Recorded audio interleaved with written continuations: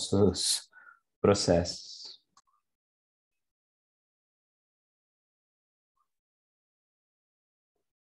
Donado, por enquanto não temos brinde, mas uh, quem sabe aí uma, uma sessão aí de, de tênis com você, você poderia pensar nisso, hein? Você dá aula aí para alguém, o que, que você acha desse brinde? Mas eu preciso evoluir, hein? eu ainda estou no, no estágio aí bem iniciante. Não custa barato, não, uma, uma aula particular. Então, ó, um bom, um, já deixei uma ideia de brinde aí para o nosso próximo evento. É, uma boa, hein?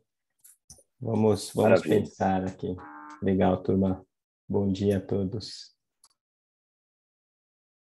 Vamos dar início então, pessoal. Novamente aí, eu estou vendo ainda o pessoal conectando, é, mas para a gente cumprir o horário aqui de quem também já conectou, eu quero primeiramente aqui agradecer a participação de todos que puderam estar aqui na sessão com a gente hoje. Deixa eu abrir minha câmera aqui também, para vocês poderem me ver também. Meu nome é, é José Lima, eu faço parte aqui do time de Solutions Engineer da HashCorp aqui no Brasil.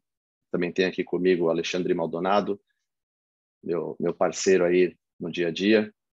E hoje nós vamos falar aqui sobre um webinar que é minimizando o desperdício da nuvem. Maldonado, você quer fazer aqui alguma introdução? Quer fazer algum comentário antes da gente entrar de fato aqui no conteúdo? Bom, agradecer aí a presença de todos. Uh, a gente vem aí nesse trabalho de explorar, ajudar aqui as empresas com as soluções HashCorp no Brasil.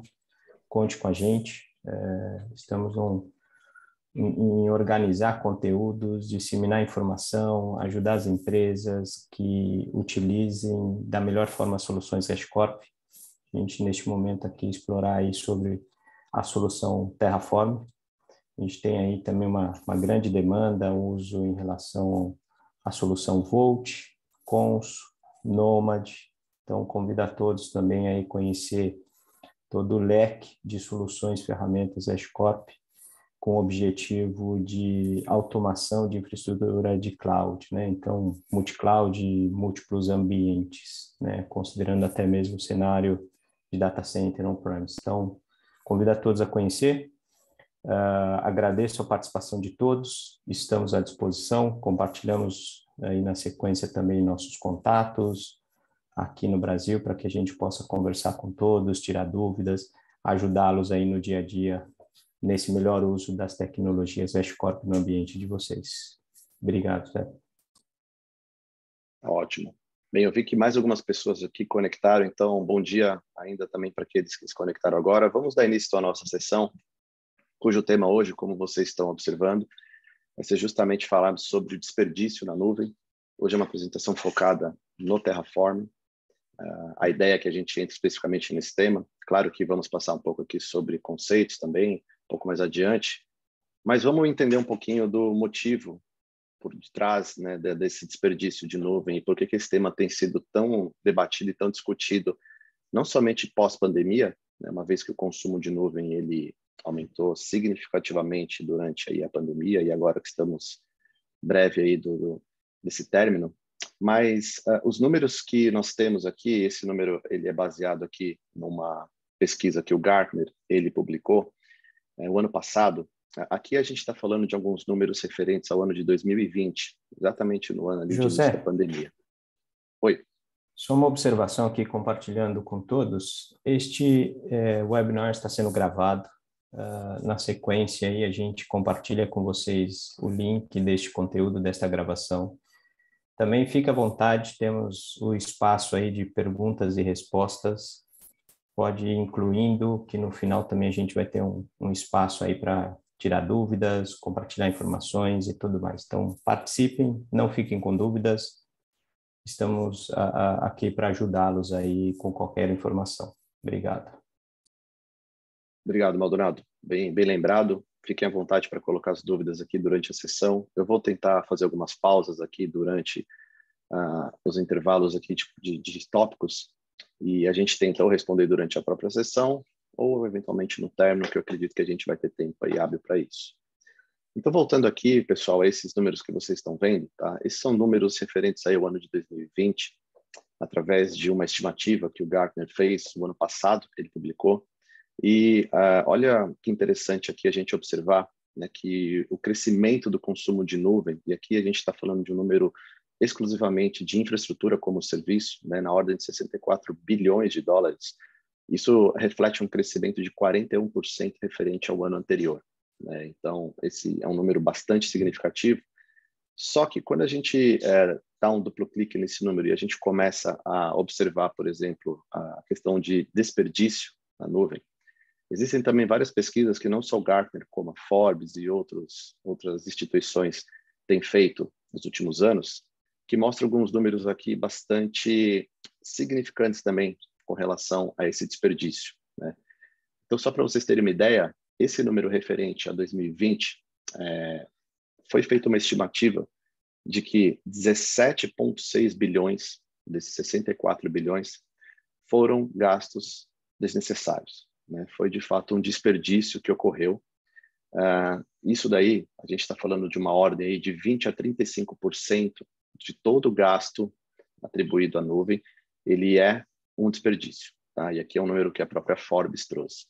Só para vocês terem uma ideia, eu até pesquisei outros números também, além desses que a gente tem aqui nesse material, e é interessante, e eu vejo que vocês também vão refletir que, que faz sentido esses números, uh, 44% dos gastos aqui feitos em nuvem, eles são feitos em cima de servidores, né, de recursos não produtivos. E nem sempre esses recursos não produtivos, eles estão ali colocados da maneira correta, ou seja, colocados durante um período de expediente, uma vez que um recurso não produtivo não necessariamente ele precisa ficar é, todas as horas dentro de um mês de fato ativo. Né? Nem todo mundo tem esse controle, essa governança da forma ideal. Né? E além disso, 40% também é, do tamanho das instâncias que são provisionadas, né, dos recursos de computação que são provisionados na nuvem, são um tipo além, né, um tipo acima do que de fato é necessário. Então, é aquele exemplo, né? Poxa, eu vou subir uma máquina uh, nano, small, medium, large, 2x large. Geralmente, essa conta ela acaba levando em consideração um tamanho um pouquinho acima, né? 40% uh, das instâncias, de acordo com pesquisas, elas acabam sendo um pouco maior do que de fato é, é necessário. Então, quando a gente olha, né, a gente observa isso, de fato a gente tem aqui um valor muito relevante. Nós observamos então aqui que de 20 a 35%, vamos arredondar aqui para um terço desse custo, é um custo que não precisaria estar ocorrendo. Porém, a gente não tem nem sempre aqui os controles e as ferramentas necessárias para que a gente possa, de fato, uh, fazer um melhor uso desses recursos. Né? Se a gente ainda observar aqui, estou pegando um outro dado aqui, eu estou colocando as fontes para que vocês também possam depois consultar isso uh, com detalhes, ler todos esses estudos. Né? Se a gente pegar aquele número, né, que ainda é referente de 2020, e a gente pegar desses 17,6 bilhões, a gente observa aqui que 11,11 11 bilhões, desculpa, são com recursos ociosos, ou seja, aquele primeiro exemplo que eu dei de máquinas, por exemplo, não produtivas e que eventualmente ficam ligadas é, em momentos desnecessários, né? ou até mesmo o que a gente costuma falar de recursos órfãos. Alguém provisionou aquele recurso, utilizou por algum tempo, mas não lembrou de ir lá e remover aquele recurso, né? ou não tem um processo de fato é, aplicado para isso. E 6,6 bilhões né, foram com recursos, que é aquele segundo exemplo que eu dei, de recursos sobreprovisionados, ou seja, ele está acima do que de fato é necessário. Né? E se a gente continuar trabalhando um pouquinho com esses números, né, eu quero introduzir aqui a nossa sessão é, trazendo números para que vocês possam entender o quão crítico é esse tema que a gente está aqui trazendo hoje.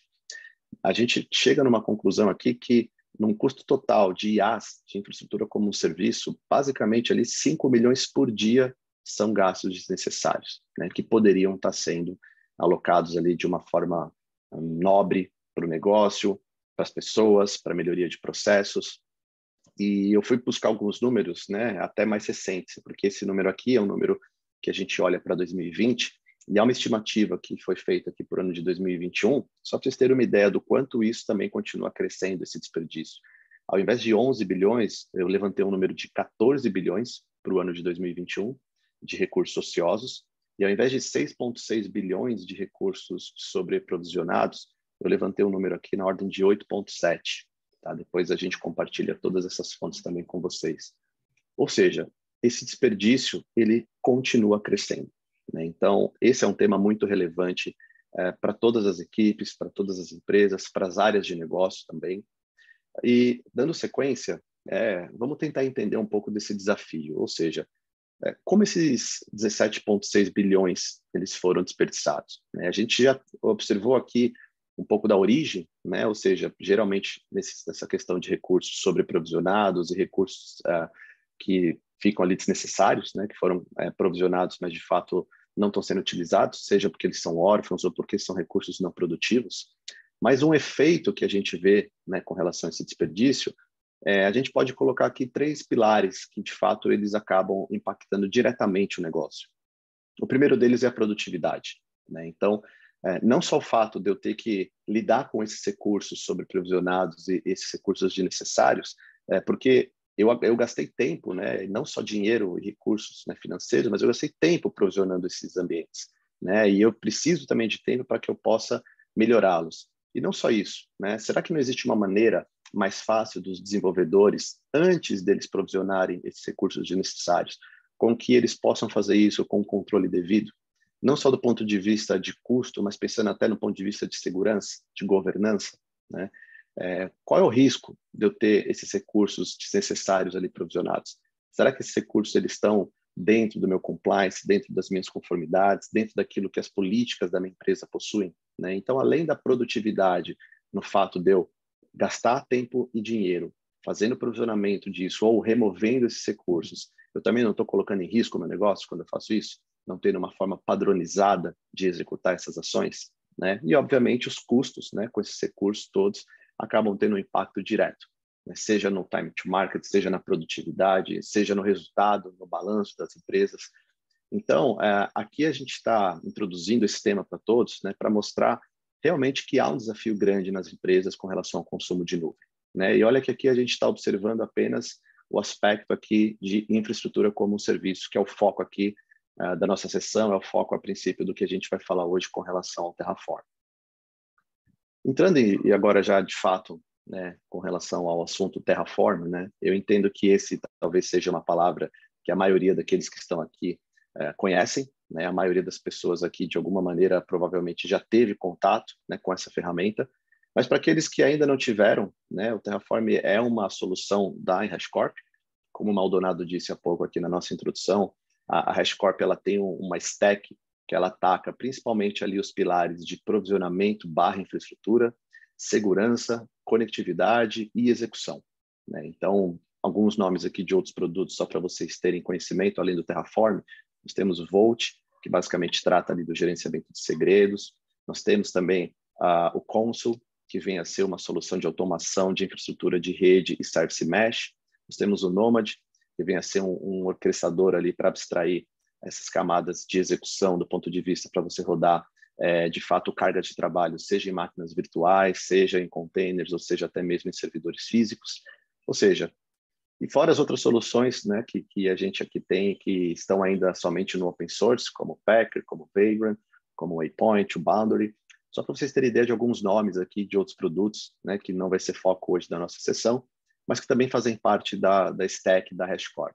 E o Terraform, que é o que nós vamos falar aqui de fato hoje, entender como que a solução Terraform pode auxiliar as empresas a minimizar né, esse desperdício na nuvem, que é o tema aqui do nosso webinar, ele de fato ele vai fornecer uma base para automação da infraestrutura usando o conceito de infraestrutura como código.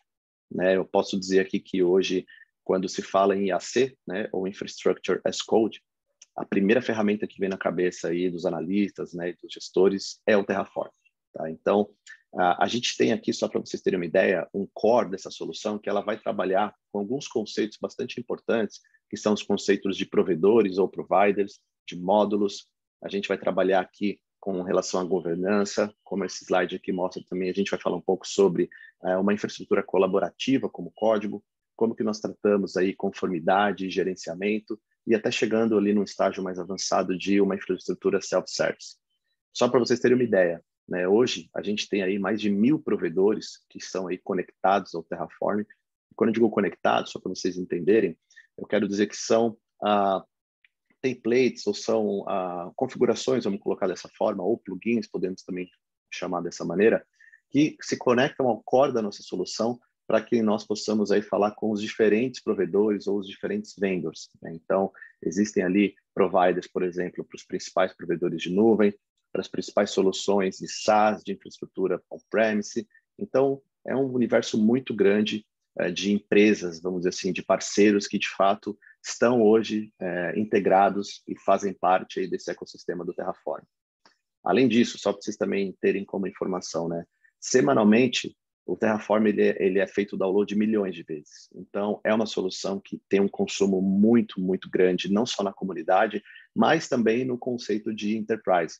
Só para vocês também terem como informação, hoje, apesar do Terraform ele ser uma solução open source, nós temos ali a versão enterprise dele, que é onde a gente vai entrar um pouco mais em detalhe é, adiante, nós temos mais de 1.200 clientes enterprise, ou seja, 1.200 clientes que chegaram no nível tão grande de adoção da solução que de fato eles não conseguem mais trabalhar sem a necessidade, né? sem ter ali um suporte por trás, sem ter ali essas, essas features, né? essas funções que nós vamos falar aqui, uma delas que é a estimativa de custo, ajudando eles no dia a dia, ajudando eles na automação, ajudando eles na inovação.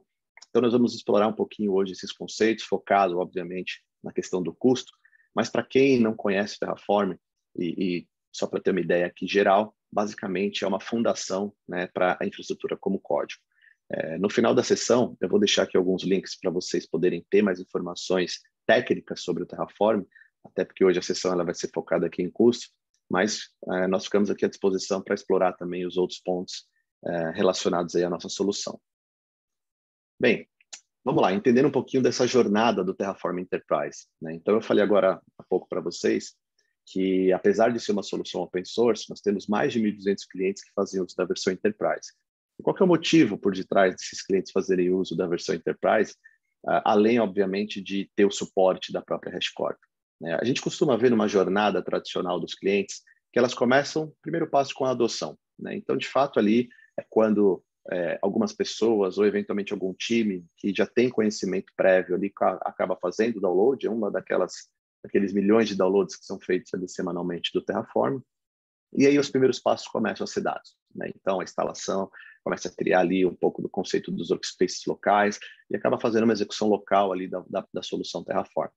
E como eu disse, conforme isso vai ganhando corpo, conforme isso vai ganhando maturidade, começa a ser necessário ali uma, uma, uma, um ambiente um pouco mais robusto. Né? E aí a gente começa a ver, por exemplo, o que a gente chama aqui da construção. Né? Então, ou seja, é, começa a ser criado um ambiente colaborativo, onde não apenas pessoas ou eventualmente um time utiliza a solução, mas isso passa a ser utilizado por grupos de pessoas ou por vários times, e é justamente ali onde entra esse conceito do, da colaboração, onde de fato a solução open source ela já não foi desenhada para isso.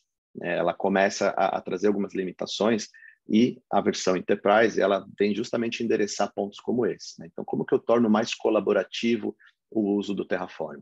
Né? Como que eu vou também para um outro passo que é um passo de padronização?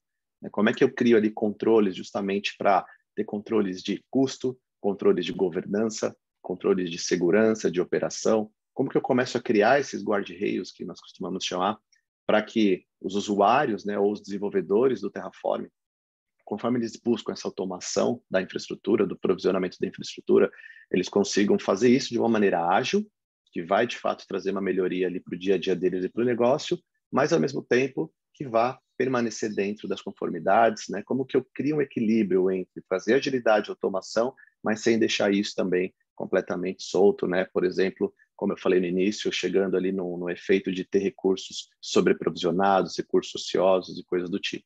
Né? E aí, talvez o um último passo ali dessa jornada é o que nós chamamos aqui da inovação, né? A ponto de eu ter isso de uma forma tão automatizada que basicamente o time de operação ele não toca na plataforma. É, isso fica totalmente integrado aos fluxos de trabalho, né, que as empresas já têm, aos seus respectivos pipelines, né? Os próprios desenvolvedores fazem requisições com relação à infraestrutura e podem consumir essa infraestrutura de uma maneira automatizada dentro desses controles, dentro dessa padronização, sem a necessidade ali de uma interação manual, de fato, das equipes, né, tendo como resultado não só o controle, mas também agilidade, né, que é algo que todo mundo busca aqui nos nossos dias atuais. Tá?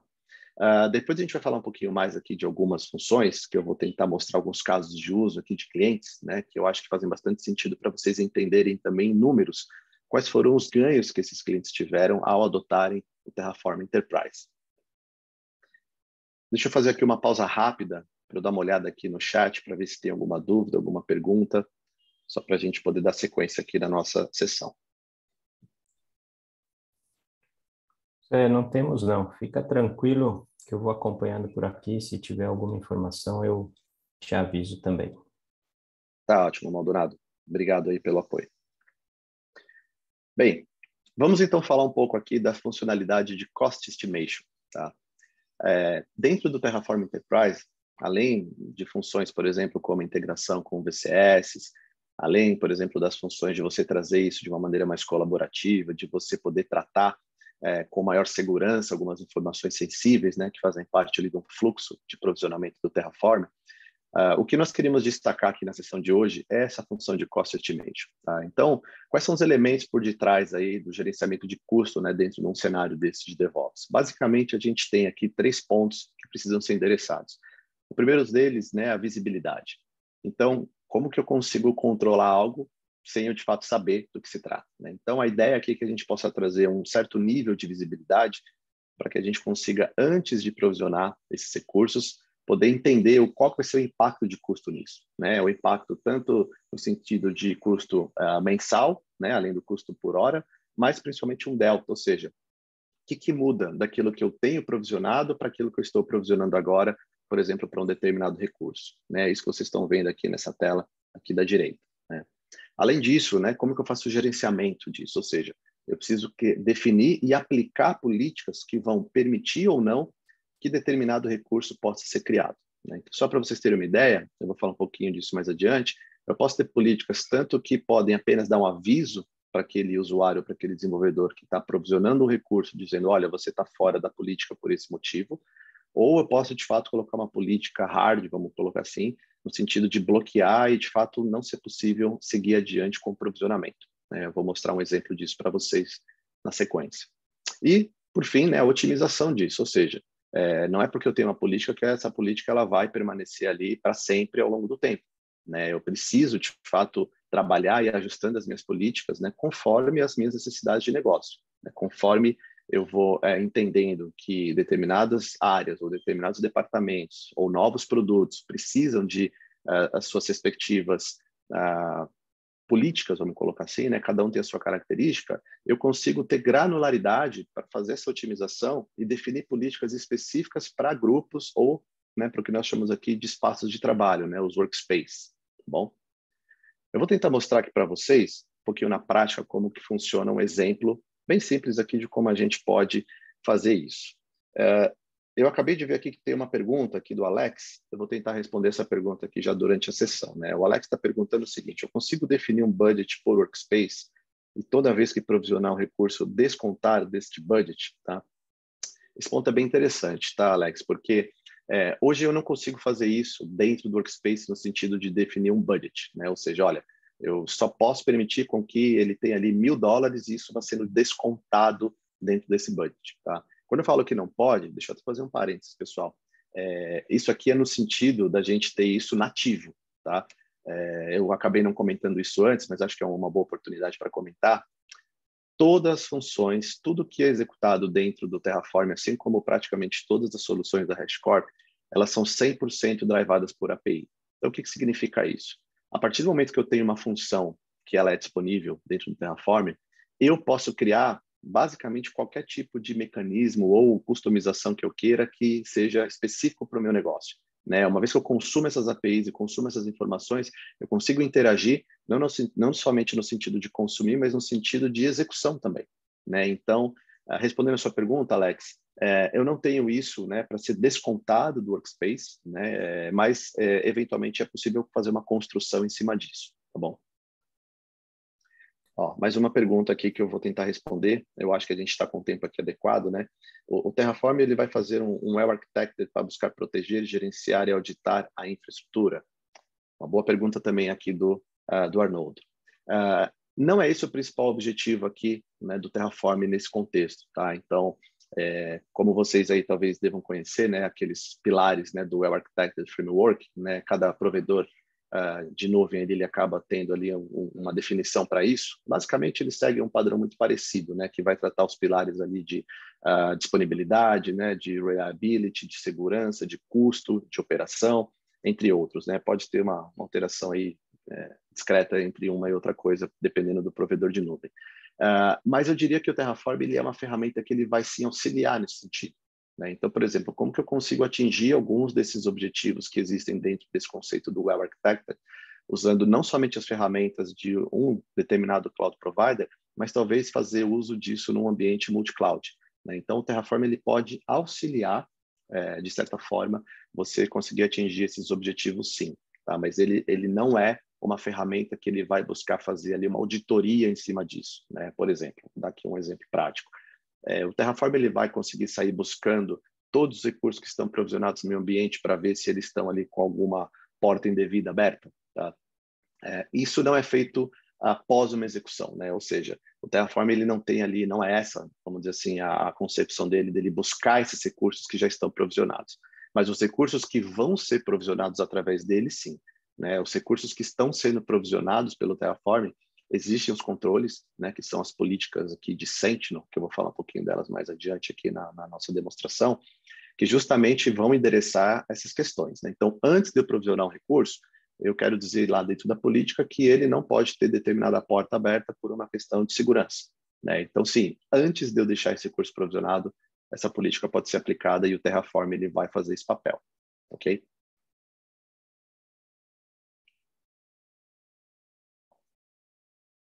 Vamos lá, pessoal. Eu vou trocar um pouquinho aqui de tela para tentar mostrar aqui para vocês uma demonstração breve, mas que acho que pode ajudar aqui a gente a entender um pouquinho dessa função aqui de cost estimation, ok? Vamos lá. Vocês estão vendo aqui, né? É, esse aqui é a console do Terraform Cloud, para quem ainda não teve a, a chance de ver essa console. E eu tenho aqui um espaço de trabalho que para esse demo aqui, para esse evento, eu chamei aqui de TFC Demo, né, onde eu tenho aqui todas as informações com relação à execução dentro desse espaço de trabalho. Né? Então, como o nosso objetivo não é detalhar aqui cada uma dessas funções, eu quero só destacar aqui as principais, né, não só para quem está vendo isso pela primeira vez, como para quem talvez está acostumado ali a fazer uso da versão open source e pode tentar fazer algumas analogias aqui com relação à versão enterprise, tá? Então, dentro aqui desse espaço de trabalho que eu chamo de TFC Demo, eu tenho aqui algumas informações interessantes, né, como todos os runs que eu executei dentro desse espaço de trabalho, né, eles ficam aqui arquivados. É, eu tenho aqui os meus estados, né, então, cada vez que eu executo um run, é, eu tenho um estado é, respectivo, né, relativo àquele, é, àquela execução, e ele fica armazenado. As minhas variáveis também, elas ficam armazenadas aqui dentro desse espaço de trabalho.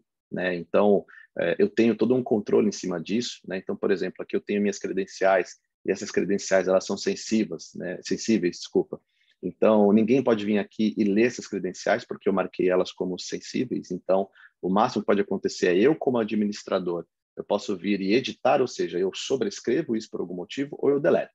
Mas eu não posso vir aqui e, de fato, ver qual é a credencial que eu mesmo coloquei é, no momento que eu fiz aqui a configuração desse espaço de trabalho. Tá? Eu queria destacar aqui é, um, um, ponto bem interessante, que é a minha conexão, a minha vinculação ao meu repositório de GitHub. Tá? Então, a gente vai falar de custo, né? mas eu quero rapidamente aqui aproveitar essa oportunidade e passar um pouquinho por alguma dessas funções é, e mostrar para vocês aqui que é, dentro desse fluxo, né, que eu vou mostrar aqui de exemplo, ele é um fluxo que ele vai partir é, lá do ponto onde, dentro do repositório, eu tenho ali uma infraestrutura como código definida, onde eu tenho times que estão ali colaborando, né, construindo aquela infraestrutura como código. E aí, nesse exemplo, eu vou criar aqui alguns recursos e a gente vai fazer aqui algumas, algumas simulações né, de como que essas políticas aqui elas vão estar sendo aplicadas para garantir ou não com que esse recurso possa ser provisionado, evitando lá o desperdício e evitando, eventualmente, que esse recurso venha a ser ocioso em algum momento. Tá? Com relação às políticas, pessoal, é, essas definições, né, elas podem, né, e vocês vão entender porque eu estou falando que é podem, não apenas elas devem, estar aqui dentro do próprio Terraform Cloud. As próprias políticas, elas também são códigos, né, que nós chamamos aqui de Policy as Code, tá? que elas também podem estar lá nos repositórios. Tá? Inclusive, ah, quando eu fiz aqui as primeiras configurações, é, eu fiz aqui direto na própria console do Terraform Cloud, e isso aqui em breve agora não vai ser mais possível de ser feito na própria console. Isso também vai ser direcionado para estar vinculado apenas a um VCS, seja o GitHub, seja o GitLab, Bitbucket, que são alguns ali dos que a gente tem uma conexão ali, uma integração nativa, tá? Só para vocês entenderem o que, que, vai acontecer dentro desse fluxo, tá? Eu, eu, tenho aqui dentro desse espaço de trabalho uma política de custo que eu defini, tá? e essa política ela diz o seguinte, tá? Que eu só vou permitir a execução né, do provisionamento de um determinado recurso se esse custo, na verdade, se esse delta, ele for um delta que não seja maior do que 30 dólares, tá? Se por algum motivo eu tiver ali um provisionamento de recurso e esse recurso ele for ali um custo maior do que 30 dólares, eu vou aplicar essa política e essa política ela vai ali é, ter uma ação, seja uma ação de pedir uma aprovação, seja uma ação de não permitir com que esse recurso seja provisionado, tá? E aqui só para vocês terem uma ideia, né, é um código simples aqui, uma política Sentinel, que eu estou colocando aqui, que justamente vai executar né, isso que eu acabei de explicar. Né? Então, essa política aqui, basicamente, eu tenho aqui uma definição onde eu procuro uma informação de planning, né, baseado no código que eu tenho, nos recursos que vão ser provisionados, e aí, através disso, ele vai ali aplicar né, e falar, olha, se esse custo, né, se esse delta, ele for menor do que 30, essa política ela está aprovada e ela pode seguir adiante. Tá? E aí essa política, né, ela tem ali o que a gente chama de um policy set, e esse policy set ele vai ser aplicado ou para todos os meus espaços de trabalho, então eu tenho a possibilidade de criar essa política e fazer com que essa política ela seja aplicada de uma forma geral para minha organização, como eu posso definir espaços de trabalho específicos onde essa política vai ser aplicada. Então, nesse caso aqui, eu estou aplicando ela num espaço de trabalho específico que eu estou chamando aqui de TFC Demo, ok? Basicamente, aqui, esse é a explicação do fluxo que vai estar aqui por detrás dentro desse espaço de trabalho, ok? José, e aí, uma pergunta aqui do, do Tiago, tá? Como este falar. Delta funciona em ambientes multi-cloud para vários tipos de serviços? Maldonado, essa é uma boa pergunta, tá? Esse delta, ele é calculado a partir de alguns recursos que a gente consulta nos provedores de cloud, e hoje a gente está falando em mais ou menos 44, 45 recursos que a nossa documentação ela permite ali com que sejam consultados. Tá? Então, é, isso vai acontecer não somente no, num provedor de cloud, mas isso pode ser no ambiente multi-cloud. Quando eu falo no ambiente multi-cloud, aqui eu estou me referindo basicamente a, a, Google, Azure e AWS. Tá? Então, essa definição que ela vai acontecer desse delta, ela vai ser aplicada num espaço de trabalho, é, independente se eu estou aplicando isso para o provedor A, B ou C. Tá? Na sequência, temos outra pergunta, do Cláudio Bianco. Posso configurar as variáveis por ambiente? Exemplo, configurar uma variável com o valor para ST e a mesma variável com outro valor para o AT. Sim, essa é uma, uma boa pergunta também. Essa definição de variáveis, né, elas podem acontecer tanto no nível de espaço de trabalho quanto no nível global. Né? Então, como vocês viram ali, aquela variável eu acabei definindo para um escopo uh, do espaço de trabalho, mas eu consigo fazer uma definição de variáveis que também vão ser aplicadas dentro de um escopo global. Né? Então, isso fica a, a critério aí uh, do próprio administrador do Terraform, como que ele vai fazer essas definições. Pode seguir na sequência aí, Zé. Por enquanto, não temos mais perguntas. Maravilha. Pessoal, então vamos lá. É, só para vocês entenderem o que, que, vai acontecer, então, eu mostrei para vocês ver um pouco da definição dessas políticas, né? Então, é, como que está ali acontecendo por detrás. E agora eu vou aqui, né, dentro desse exemplo, mostrar para vocês aqui é, um código muito simples, tá? A ideia não é fazer nada muito é, robusto no sentido aqui de criar vários recursos, até por uma questão de tempo. O objetivo é mostrar a função e não a, a, a capacidade dela toda como um todo ali, pensando em, em, quantidade de recursos. Mas basicamente eu tenho aqui um recurso, né, que ele é aqui uma máquina na AWS, cujo tipo dela é um nano, né, um T2 nano, né, e o, e o nome dela aqui é o Demo Server TFC. Eu estou aqui com a minha console também da AWS aberta, então só para vocês terem uma ideia, esse recurso já está aqui provisionado, tá? Então é um recurso que já está aqui rodando. E basicamente o que eu vou fazer aqui dentro desse fluxo, né? Eu vou editar aqui essa informação, tá? E vou trocar ela de TFC nano para TFC Small. Tá? Estou trocando aqui, que é um tipo, é, um acima do Nano, e vou inclusive também, só para mostrar aqui que a gente vai mudar o nome dela. Então, ao invés de Demo Server, essa máquina vai chamar Demo Webinar. Tá? Vou fazer um commit desse código, tá? Não vou deixar nenhum comentário, nada, vou só executar isso. E aí, a partir desse momento, se eu vier aqui na console do próprio Terraform, tá? Vocês percebem que sem eu fazer nada, tá? Esse, esse, essa ação, ela já gerou ali um planning, né? Que está agora acontecendo. E aí, se eu clicar dentro desse workspace, eu consigo ver os detalhes desse planejamento, né? Então, quando eu vejo aqui, ele vai me mostrar o que, que vai acontecer, né? Quais são as etapas que agora, a partir do momento que eu fiz uma alteração ali no meu código, é, vai acontecer. Então, dentro desse planejamento, tá? Ele já vai me mostrar aqui algumas informações dentro de alguns segundos, onde ele diz o seguinte, ó, eu tenho uma mudança. Essa mudança, ela envolve duas informações aqui. Ela envolve não somente o tipo da instância que está saindo de uma instância nano para uma instância small, e ela envolve também o nome, né, que agora, ao invés do nome dessa máquina, né, dentro dessa tag que eu tenho criada de demo server TFC, ela vai ser um demo webinar. Tá? Então, basicamente, essa aqui é a mudança que vai acontecer. Eu tenho aqui uma política de custo, tá? Só que olha que interessante, essa política de custo, ela está saindo aqui agora, a partir desse momento, com um custo de 17 dólares por mês. E esse delta, comparado àquilo que eu tinha da máquina anterior, do tipo anterior, é um delta de somente 12 dólares por mês.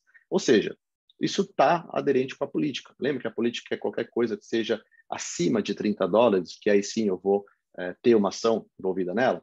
Né? Então, nesse caso aqui, como ela está dentro da política, ele automaticamente passou para a próxima fase aqui, que é a execução. Tá? Então, a partir desse momento aqui, o Terraform está interagindo lá com a AWS, e aqui vocês, dentro de alguns segundos, vocês vão observar que essa máquina Nano aqui, ela vai ser decomissionada e vai ser provisionada uma nova máquina aqui uh, de um tamanho diferente, né? que agora vai ser o tamanho small. Tá? Inclusive, o nome dela vai mudar. Então, esse, esse apply aqui ele deve demorar algo em torno de um minuto para acontecer. Vamos ver aqui, ó. Eu acho que agora aqui ele já foi. Agora a gente já vê aqui a nova máquina sendo provisionada. Né? Então, temos aqui uma máquina que agora é do tamanho small e o, o nome dela, né, que eu tinha colocado uma tag aqui de name, é, ele tem aqui um nome diferente. Tá? É, Antes de eu fazer aqui a próxima etapa aqui da nossa demo, deixa eu ver se tem alguma pergunta aqui. Alguma pergunta, pessoal? Alguma dúvida até aqui?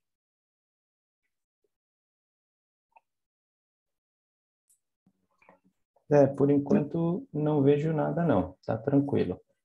Ó, eu vi aqui uma pergunta aqui, ó, do, do Arnoldo, acabou de chegar. A política de custos calcula sempre o valor do mês cheio para poder o Delta validar? Sim. É, ele sempre vai calcular o mês completo para fazer esse cálculo do custo hora e chegar no cálculo de custo mês. Tá? Isso, como eu disse, de uma maneira nativa, tá? que é o que vocês vão ver ali dentro dessa fase. Tá? Uh, pessoal, antes de eu dar sequência aqui, é, deixa eu mostrar uma coisa que eu acabei não mostrando para vocês aqui é, com detalhes, e eu acho que é importante a gente voltar aqui para vocês entenderem, tá? que é esta parte aqui uh, na definição da minha política com relação a, ao enforcement dela tá? Eu acabei passando rápido por aqui, eu acho interessante a gente voltar nela. Toda política ela tem três tipos de enforcement, né? O que a gente chama de, vamos começar pelo advisory, ou seja, se algo ali é, trigar, né? Se algo, se algo disparar essa política, ele só vai me dar um aviso falando, olha, você infringiu determinada política por esse motivo, mas é só para o seu conhecimento e esse plano segue adiante. O soft mandatory, que é o que eu tenho aqui marcado para essa política, que ele vai não somente dar um aviso, mas ele vai pedir uma aprovação, né? Então, ou seja, alguém vai ter que interagir dentro desse fluxo, né, para poder fazer essa aprovação. E o terceiro tipo, que é o hard mandatory, esse aí, além de dar o aviso, ele não permite com que seja feito nenhum tipo de aprovação. Né? É uma política hard, ou seja, você está infringindo algo que não existe exceção. Ninguém vai poder ir lá aprovar. A única forma de fazer isso é definindo ou criando uma nova política, ok? Só queria mostrar aqui isso para vocês, que eu acabei passando muito rápido na, naquela primeira vez. Vamos fazer o seguinte agora. Vamos supor que, então, dentro dessa colaboração, alguém veio aqui e agora foi provisionar um recurso, né? E ele falou assim, poxa, eu estou em dúvida se essa máquina aqui que eu preciso era uma máquina medium ou large. ah, poxa, eu vou fazer uma large aqui, já que, né, teoricamente aqui eu já tenho uma subscrição, eu já tenho ali um recurso pago todo mês, né? Acho que não tem nenhum problema aí. Daqui uma semana eu sei que eu vou poder desligar essa máquina, né? E vamos lá fazer dessa forma. Então alguém foi lá e colocou uma máquina large a partir desse momento, tá? Então, da mesma forma que eu fiz lá, né, usando essa colaboração, eu venho aqui no meu espaço de trabalho e a gente já vê aqui que um novo planning começa a ser executado. Tá?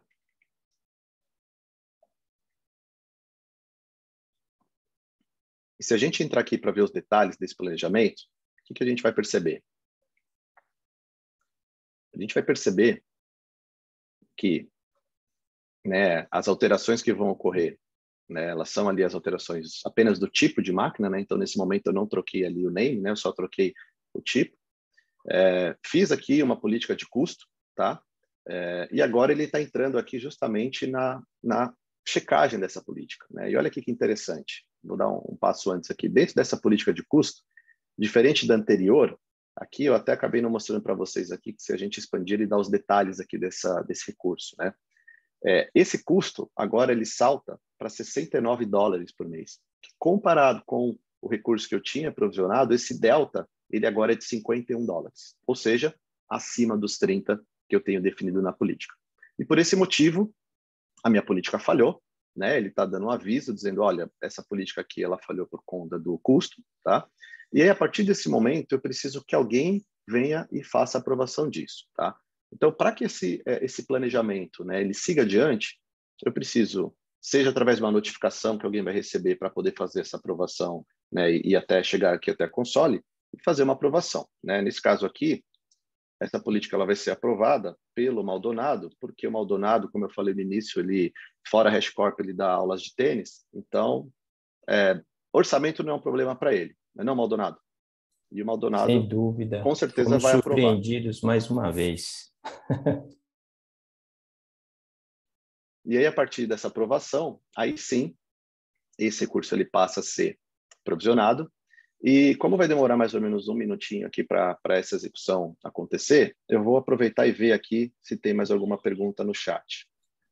Temos duas perguntas aqui, Zé. Acho que uma do Fábio, e aí na sequência, deixa eu te falar do Fábio e depois eu pulo para a do Rui. Tá bom. A do Fábio, as variáveis eu sempre preciso inserir no, no workspace ou variáveis globais?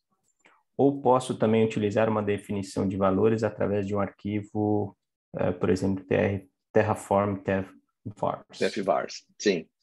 Fábio, uh, você tem as duas opções. Tá? Se você quiser manter a sua definição ali de variáveis né, dentro de um arquivo TFVars, toda vez que você executar, você passar essa informação ali para o Terraform Cloud, é uma opção. Tá? É, eu diria que essa talvez não seja a mais indicada, porque quando a gente tem isso já ali direto no próprio Terraform Cloud, a gente tem todos os controles de segurança necessários ali para que você possa manter isso dentro desse fluxo já no próprio Terraform Cloud.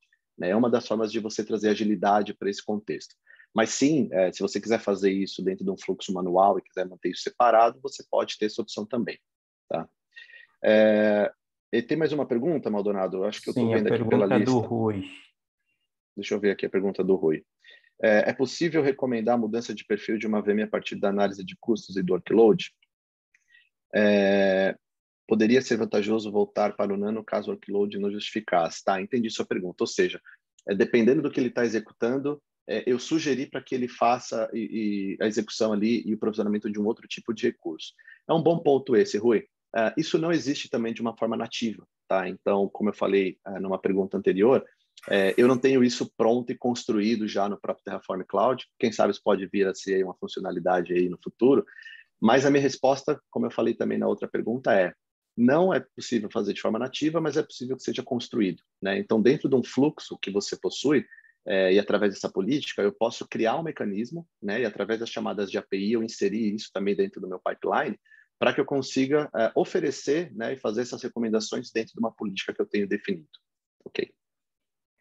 Zé, só uma observação aqui. O Paulo pergunta se a gravação será disponibilizada. Sim, Paulo. No, no, na, na, sequência a gente compartilha um e-mail e também o um link com essa gravação. Tem mais uma pergunta do Alex aqui, Zé. Estou vendo aqui, ó. Vou tentar responder aqui a do Alex e do Marco, e aí eu, eu volto aqui só para a gente poder concluir a demo e qualquer coisa, as outras perguntas a gente tenta responder também no final. A pergunta do Alex é: consigo configurar diferentes grupos de aprovadores na política de Sentinel? Né? Ou seja, pedir aprovação para a política 1 de um grupo de aprovador e, e pedir aprovação para a política 2 por um outro grupo de aprovadores. É, vou dar uma resposta também parecida com a pergunta anterior. Tá? É, eu não tenho isso também hoje de uma forma nativa, ou seja, eu não tenho lá dentro dessas aprovações uma criação de grupos distintos para isso. Tá? O que eu posso fazer com relação aos grupos é, são grupos que possuem permissão para criar ou definir as políticas, tá? Mas essa aprovação, é, ela vai depender ali de uma definição de usuário, tá? Então eu vou ter que, é, dentro do espaço de trabalho, definir, né, ali os aprovadores que vão poder fazer isso ou não, tá? Então, é, talvez respondendo aqui de uma outra forma a sua pergunta, é, uma parte disso já dá para fazer de, de, uma maneira nativa, mas dependendo da granularidade que você precisa ali com relação aos grupos de aprovadores, é, talvez eu precise construir algo no sentido de poder é, complementar aquilo que já existe. Tá? E a pergunta do Marco aqui, ó, estou vendo, é, essas definições de políticas podem ser feitas via código ou só pela interface do Terraform Cloud? Sim, Marco. Na verdade, a recomendação é, inclusive, que seja feita também como código e também isso fique lá no repositório. Eu só mostrei aqui na console para ficar mais fácil aqui da gente poder olhar dentro desse fluxo, mas a recomendação, inclusive, é que seja feito isso, tá? Para que isso seja feito dentro ali de um repositório também e haja uma definição também como código, tá? Inclusive, eu, eu mostrei ali há pouco, é exatamente um código ali com mais ou menos seis, sete linhas que faz isso, tá? Bem, vamos lá. Então, Esse é um ponto aqui... interessante, né, Zé? Que você cria o Sim. workflow de forma consistente e eficiente, te ajudando no seu processo a aplicar políticas, controles, redução de custo e melhor eficiência operacional no seu ambiente multi-cloud, né? Então, aproveite desses recursos que geram benefícios no ambiente de vocês. Exato. Então vamos lá, eu estou aqui na console, né? Então ela estava aqui com aquela máquina small, e se eu dar um, um atualizar aqui, vocês vão perceber que ela mudou para o large, né? Então, ou seja, aquela execução ali que a gente fez alguns minutos atrás, ela de fato já aconteceu, uma vez que o Maldonado foi e aprovou esse fluxo, tá? Então, pessoal, é, eu queria aqui mostrar essa demonstração para vocês, né? Pra, e até aproveitei aqui, fui fazendo umas pausas aqui, tentando responder algumas perguntas, para que vocês possam ver é, o quão simples é você conseguir criar uma política e aplicar essa política, é, você fazer a gestão dessa política e foi interessante essa interação, que vieram bastante perguntas aqui muito pertinentes do tema, né? Então, assim, algumas coisas que eventualmente não existam já construídas de uma maneira nativa, existem alternativas, existem formas de vocês poderem fazer ali a customização e, e trazer até de uma forma mais granular, de acordo com a demanda de vocês, tá? E para a gente concluir, Quais são os resultados disso? Né? Então, se a gente voltar para aqueles números que a gente viu no início da sessão, né, da ordem ali de quase um terço do custo sendo de fato um desperdício, tá? a gente pode chegar aqui numa conclusão né, que dependendo do cenário, a gente pode ter até aqui um, um retorno de investimento do Terraform na ordem até de mais de 400%. Né? Ou seja, se para cada dólar gasto com Terraform eu conseguir economizar de 3 a 5 dólares, né, geralmente eu vou chegar em números aí maiores do que esses 400% de ROI. Tá?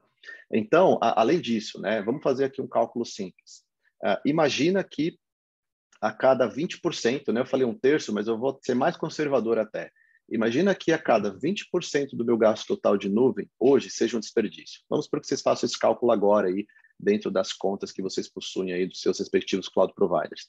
E vamos pegar aqui um exemplo. Então, se eu estou gastando 10 milhões no ano, por exemplo, com o meu cloud provider, é, 2 milhões aproximadamente deve ser um desperdício, se não for mais. Né? Então, é, eu tenho aqui como resultado, a partir do momento que eu faço uso de uma solução como essa, né, a possibilidade de usar esse valor que está sendo desperdiçado de uma forma mais útil, de uma forma que possa trazer um resultado ainda melhor para o meu negócio.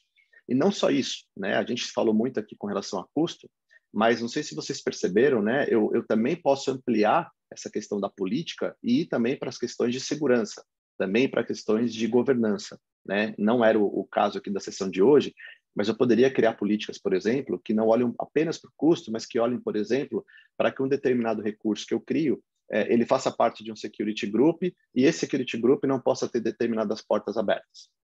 Eu posso criar esse tipo de política também através do Sentinel e também solicitar ali uma aprovação caso alguém queira fazer algo fora ah, dessa política fora dessa conformidade, né? Então, aqui eu diria, né, e é uma pergunta que eu ouço muito dos clientes, né, o Terraform é uma, é uma ferramenta de FinOps? Diretamente não, tá? Mas eu diria que indiretamente ela pode apoiar, sim, as equipes, não só de FinOps, como as equipes de segurança, né, as próprias equipes é, de governança e auditing que as empresas possuem. Né? E no final do dia, é, por incrível que pareça, conforme eu for fazendo o melhor uso dos meus recursos, eu vou aumentando o consumo, né? porque eu vou trazendo resultado para o meu negócio, conforme eu trago o resultado, eu vou crescendo a minha, a minha demanda pelos meus recursos, mas eu faço um crescimento correto, eu faço um crescimento orgânico disso. Tá? Só para vocês terem uma ideia, pessoal, eu quero terminar aqui compartilhando três casos de clientes aqui que fizeram uso né, e fazem uso do Terraform e alguns números bem interessantes que eles conseguiram obter. Tá? Então, o primeiro deles é da Bolsa de Toronto, e aqui é um caso interessante, porque além do Terraform, eles também faziam uso do Volt. Mas só para vocês terem uma ideia, né? a Bolsa de Toronto ela tem hoje ali por debaixo né, do, do, do, que ela gerencia mais de 3 trilhões de dólares né, em capital que, de valor de mercado das empresas. Né? Só de capital próprio eles têm ali 54 bilhões de dólares.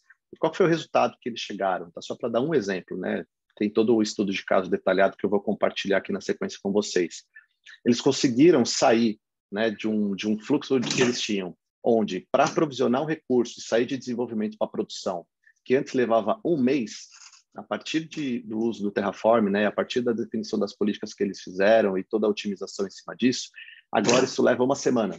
Ou seja, demora uma semana e não mais um mês para um recurso que antes demorava esse tempo para sair de dev para prod, agora ele faz isso tudo em uma semana. Né? Então, eles também obtiveram ali um ganho na ordem de 75% né, de, de aceleração, de rapidez no provisionamento da infraestrutura.